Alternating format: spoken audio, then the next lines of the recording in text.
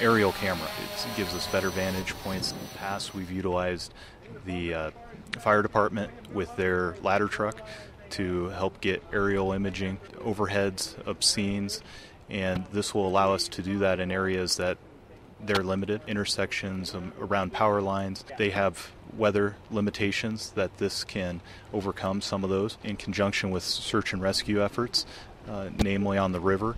And uh, it's, it's, quicker deployed than the fire department initially getting out on the water. Um, we can have this up in the air, initiating the search and also coordinating with them when that search is underway. One person is running the drone while the second person, the observer, is watching the drone visually to make sure that we're not running into anything. Make sure there's no airplanes coming in, anything, flock of birds coming through. The person that's running the drone is concentrating on doing nothing but running the drone itself, concentrating on the photography that the drone is taking. He's not necessarily concentrating on everything that's going on all the way around him.